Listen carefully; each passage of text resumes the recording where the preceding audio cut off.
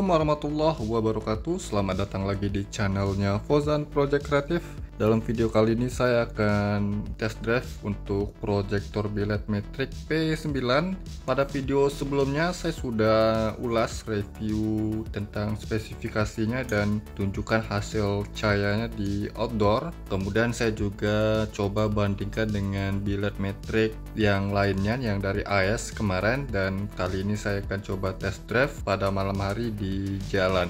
Ini yang satunya sudah saya pasang di headlamp. Untuk pemasangannya dia bisa ke headlamp H4 HB3 dan H7 dan untuk penampakannya seperti ini. Kemudian untuk proyektor billet ini dia nggak mengandalkan reflektor atau pantulan cahaya di headlamp lagi ya. Jadi kalau misalnya headlampnya di full black smoke ini kan yang reflektor masih ada ya. Cuman kalau dihitamkan semuanya dia masih bisa digunakan dan tidak berpengaruh sama hasil cahaya cahayanya. Dan penampakan kalau sudah terpasang seperti ini tanpa tambahan cover surutnya lagi jadi nggak perlu pakai cover surutnya lagi. Dan di sini untuk kabelnya dia ada tiga ya. Hitam itu yang negatif atau masa kuning untuk positif low beam merah untuk positif high beam. Karena saya pasang di headlamp Suzuki Swift yang soket H4 jadi dia bisa dipasang di soket headlamp H4, H7, HB3 maupun HB4 ini sudah dapat ringnya juga kemudian murnya juga dapat. Namun di sini saya nggak dapat untuk karetnya seperti ini. Terpaksa saya tambahin lagi karetnya. Di sini karetnya saya gunakan copotan dari proyektor billet lainnya ya. Jadi untungnya saya ada stoknya untuk karetnya jadi nggak terlalu bermasalah sih. Jadi yang satu sudah saya pasang tinggal saya pasang yang satu lagi dan kita lihat hasil outputnya di jalan. Jangan ke mana-mana simak terus video ini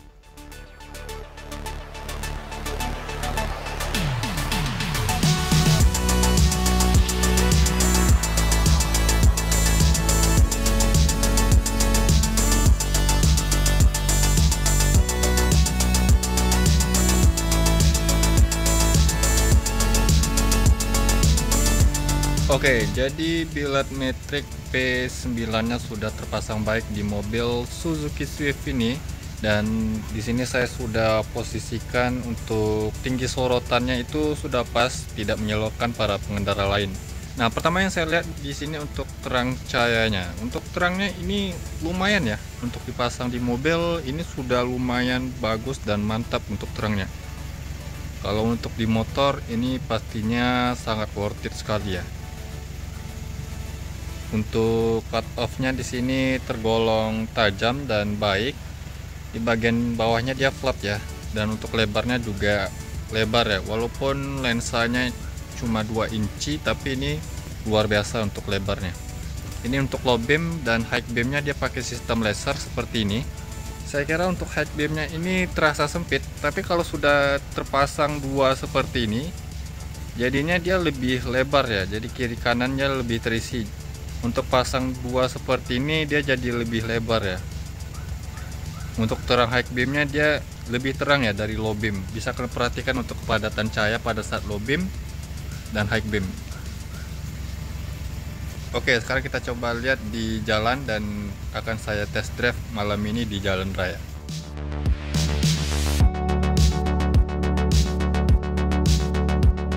Di sini kalian bisa perhatikan untuk terang dari output billet matrix hasil terangnya seperti ini. Yang sudah terpasang dua di mobil Suzuki Swift. Ini high beamnya. Ini low beam high beam. Untuk terangnya ini sudah bisa diandalkan ya kalian bisa perhatikan. Juga untuk cut off nya ini tergolong tajam ya untuk cut off nya meski di bagian sudut-sudutnya jadi semakin blur atau enggak terlalu tajam cut off nya tapi di bagian tengah-tengah dia tajam. Dan pada saat high beam ini high beamnya saya nggak ngira bisa selebar ini. Bahkan kalau saya perhatikan dia bisa lebih lebar dari sebuah proyektor billet 2,5 inci maupun yang 3 inci ya. Yang pada umumnya atau kebanyakan proyektor billet 2,5 inci atau 3 inci itu high beamnya sempit. Tapi ini terasa lebar ya. Dan untuk terangnya pun dia bisa lebih terang dari low beam. Jadi untuk di jalan pada saat high beam itu akan terasa lebih jauh daripada low beamnya. Ini bisa kalian perhatikan. Ini low beam high beam. Jauh sorotannya juga lumayan jauh lah. Tapi memang dia nggak terlalu rata ya cahayanya. Kalau di sini saya perhatikan cahayanya nggak terlalu rata-rata sekali tapi untuk terangnya atau untuk hasil output segini sudah bisa diandalkan lah. Oke sekarang kita coba lihat hasil test drive nya di jalan simak terus dan jangan ke mana-mana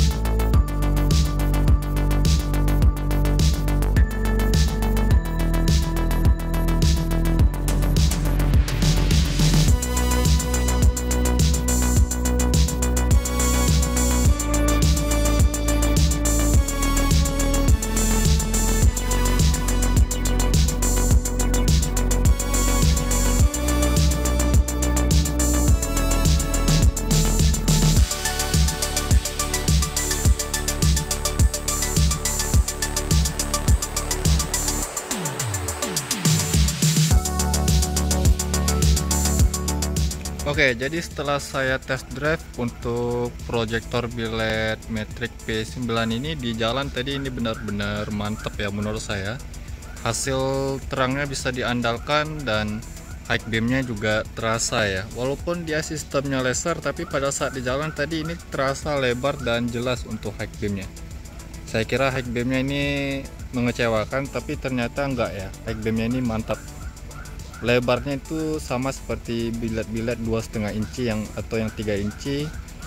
Memang bukan yang paling lebar tapi dengan sistem seperti ini menurut saya sih bagus sekali ya. Walaupun begitu ada sedikit kekurangannya sih. Di cahayanya nggak terlalu rata masih ada sedikit blind spot atau bolong-bolong untuk cahayanya nggak terlalu rata sih. Dan untuk cut off nya dia di sini nggak terlalu tajam untuk bagian tepi-tepinya tapi overall ini bagus sih menurut saya. Kalau kalian ada yang bertanya bagusan mana proyektor biled mini seperti ini atau di proyektor biled 2,5 inci yang biasa yang pernah saya review seperti proyektor biled WST menurut saya sih lebih worth itan yang WST ya kalau pernah saya coba itu yang WST dari GAA ataupun yang dari IPH Car harganya ini lebih murah dari proyektor biled Matrix P9 ini. Proyektor biled ini di rank 350.000 sampai 500 ribuan. Kalau yang WST itu sekitaran 300 ribuan sampai 400 ribuan. Sedikit lebih murah sih. Kalau ini kan proyektor bilednya saya bilang sih semi biled ya. Lebih worth itan itu sih tapi walaupun begitu, keunggulan dari proyektor biled ini yang bisa saya rekomendasikan buat di mobil-mobil atau di motor yang headlampnya itu sempit, ini cocok sih. Menurut saya ini cocok. Karena bentuknya compact, mini, dan kecil itu dia bisa dipasang di motor maupun di mobil. Juga untuk soketnya bisa dipasang di H4, H7, HB3, dan HB4. Di H6 juga bisa ya di motor bebek atau matic yang headlampnya itu soket H6 juga bisa nih. High juga kalian perhatikan ini jauh sekali sorotannya lebar. Kalau tingginya sih standar tapi kalau untuk lebarnya ini lumayan lebar lah. Hasil terangnya juga terasa di sini. Ini cocoknya buat headlamp headlamp yang sempit yang nggak bisa dipasang proyektor biled yang ukurannya 2,5 inci maupun yang 3 inci kalau yang headlamp motor atau mobil yang sempit ini bisa dipasang dan worth it. Saya rekomendasikan yang ini sih. Untuk cahayanya ini bisa diandalkan terangnya juga lumayan nggak terang-terang sekali sih. Tapi nggak terlalu redup ya. Untuk high beamnya juga mantap Oke, mungkin begitu saja video saya kali ini tentang test drive untuk proyektor biled Matrix P9 ini. Semoga bermanfaat buat kalian. Untuk link pembelian proyektor biled ini bisa kalian cek di link deskripsi video ini. Saya sudah sertakan untuk link pembeliannya, tapi saya bukan penjualnya. Terima kasih telah menonton. Semoga bermanfaat buat kalian ya. Jangan lupa yang belum subscribe channelnya Pozan Project Kreatif. Saya mohon untuk subscribe channel ini agar saya bisa terus memberikan tips, trik, info, dan tutorialnya kepada sobat ya. Dan jangan lupa juga untuk like video ini, komentar di bawah apabila ada pertanyaannya. Sampai jumpa di video berikutnya. See you next time.